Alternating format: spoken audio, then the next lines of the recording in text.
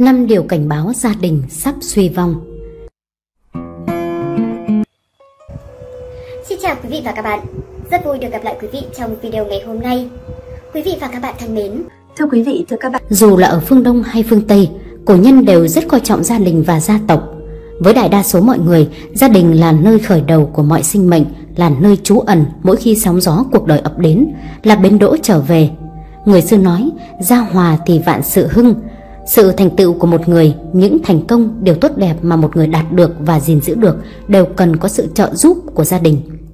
Trong video hôm nay, chúng ta sẽ cùng đàm luận về những dấu hiệu cảnh báo sự suy vong của một gia đình qua lăng kính của bộ phim Người phán xử. Ông trùm xã hội đen và cũng là người chủ gia đình Phan Quân có câu nói nổi tiếng. Gia đình là thứ tồn tại duy nhất, còn những thứ khác có hay không không quan trọng. Thế nhưng, cậu quý tử Phan Hải và cô con gái rượu Phan Hương, Mỗi đứa con một tính cách rạch trời, rơi xuống. Cộng thêm một người mẹ nuông chiều con vô lối, Âm thầm bảo vệ con bằng cách giấu giếm cho con Làm những điều chắc chắn cha không cho phép.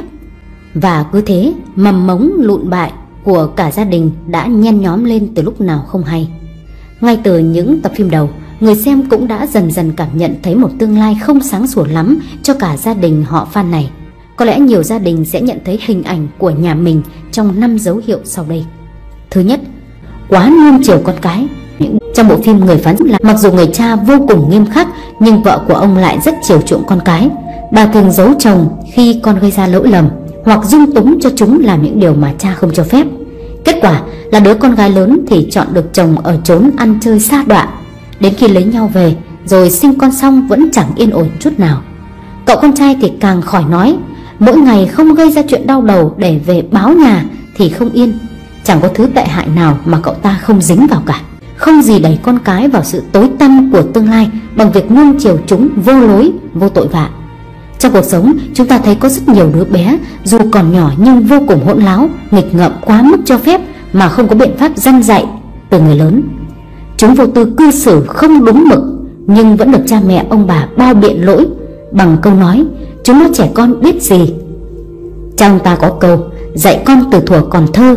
Chẳng có đứa trẻ nào là không biết gì, Nhưng lại làm ra những hành vi động trời cả. Mà đã càng không biết gì, Thì người lớn càng phải uốn nắn, Giáo dục sớm hành vi và nhận thức. Chứ nếu để lớn rồi mới dạy, Thì chẳng còn thấm tháp gì. Trẻ em như tờ giấy trắng, Người lớn viết cái gì vào Thì nó sẽ lớn lên theo những dòng chữ ấy. Còn nếu bạn cứ muốn viết rồi xóa đi, Viết lại Chẳng mấy chốc tờ giấy trắng sẽ nhàu nhĩ bẩn thỉu như tờ giấy lộn mà thôi. Tâm Thứ hai, con cái không nghe lời cha mẹ. Trong bộ phim Người phán xử cũng Khi cậu con thứ Phan Hải ra ngoài ăn chơi lâu lồng Tụ tập đàn em đi khắp nơi phá đám Lại bắt tay với những thành phần bất hảo Để buôn bán chất cấm Mặc dù cha anh ta đã hết sức cấm cản Thì những lần hậu quả để lại Ông trùm Phan Quân lại phải ba đầu sáu tay xử lý nhưng con ngựa trứng quý tử vẫn cứ quen đường cũ Hết lần này đến lần khác gây chuyện, Dẫn đến hệ lụy là gia đình anh ta, Vợ hiền con ngoan cũng tàn vỡ. Bản thân anh ta cũng chẳng nên trò chống gì Và kết thúc cuộc đời trong nhà đá. Việc con cái không nghe lời cha mẹ chính là mầm mống nguy hiểm, Dẫn đến sự thất bại của một gia đình. Từ sự không nghe lời sẽ dẫn đến những hành động bất hiếu sau này. Cha ông ta có câu, Con cái cha mẹ trăm đường con hư. Dẫu rằng cuộc sống ngày nay đã khác xưa rất nhiều, con cái có thể không chấp nhận sự đặt đâu ngồi đấy của người lớn. Nhưng như vậy không có nghĩa là có thể cự cãi, phản ứng mãnh liệt với các bậc trưởng bối để bảo vệ quan điểm của mình. Tất nhiên, làm cha làm mẹ cũng nên có sự cảm thông nhất định và suy xét mọi thứ dựa trên góc độ của con. Nhưng phận làm con không nên cậy vào sự mềm mỏng của mẹ cha mà được đằng chân lân đằng đầu. Nếu bướng bỉnh không chịu nghe lời thì hậu quả rất khó lường. Không chỉ con cái chịu hậu quả mà cha mẹ có khi lại chính là người phải đi dọn dẹp chiến trường do con mình gây ra. Thứ ba, gia đình bất hòa. Gia đình chính là mái ấm, chỗ nương thân của con người sau một ngày lao động mệt mỏi. Nếu mái ấm chỉ tồn tại những tiếng cãi vã, ngọn lửa yêu thương sẽ nguội lạnh, chẳng ai còn thiết tha tìm về tổ ấm những khi mệt nhọc. Nhiều người sẽ có xu hướng tìm niềm vui ở bên ngoài với bạn bè, tệ hơn là xa chân vào những nơi tệ nạn. Theo thống kê của các nhà xã hội học, 90% những người phạm tội từ nhỏ đều sống trong những gia đình bất hòa. Mỗi thành viên là một cá thể riêng biệt, sống cùng không tránh khỏi va chạm xô xát.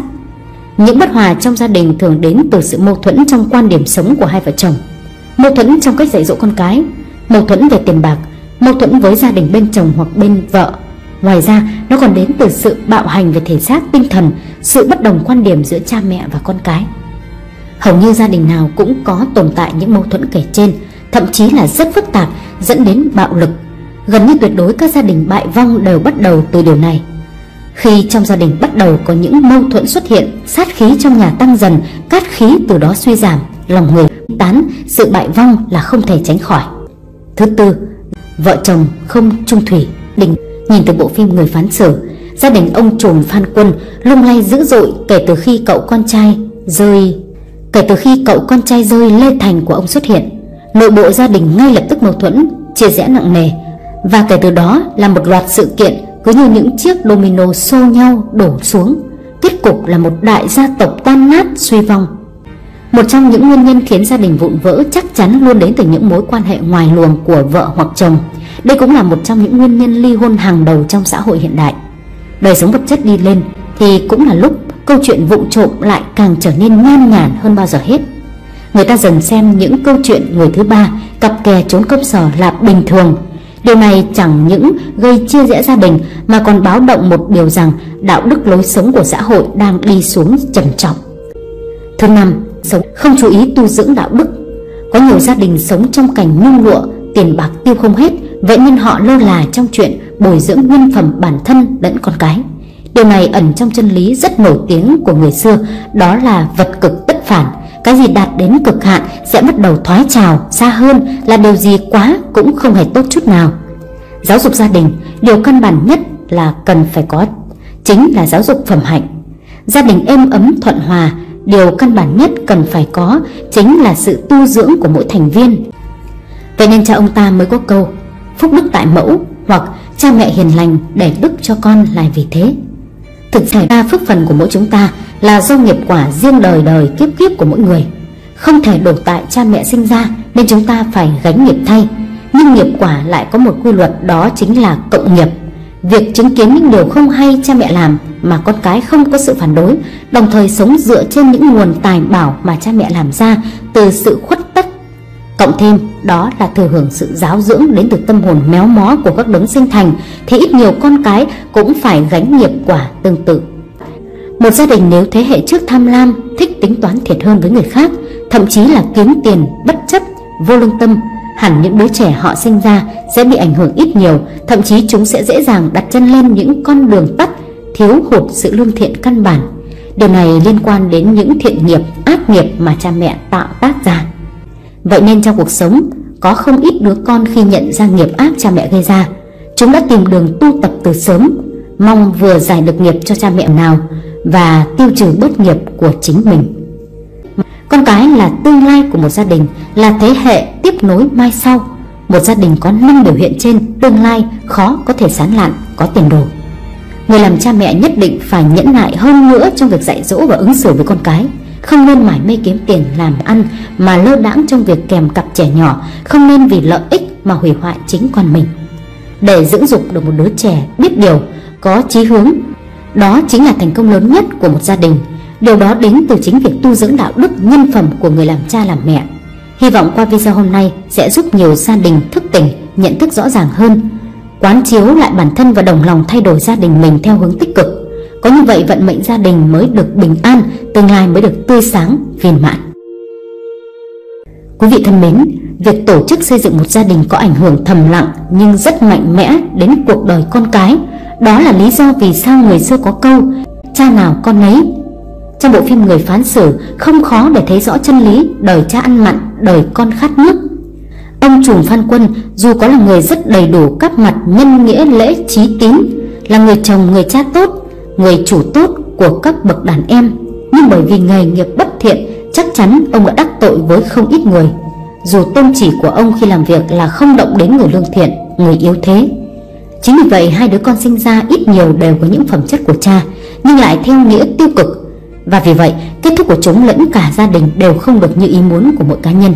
Các bạn Nếu các bạn thấy video này hữu ích thì các bạn đừng quên ấn like, share và chia sẻ kênh youtube của chúng tôi. Xin chào và hẹn gặp lại các bạn trong các video tiếp theo.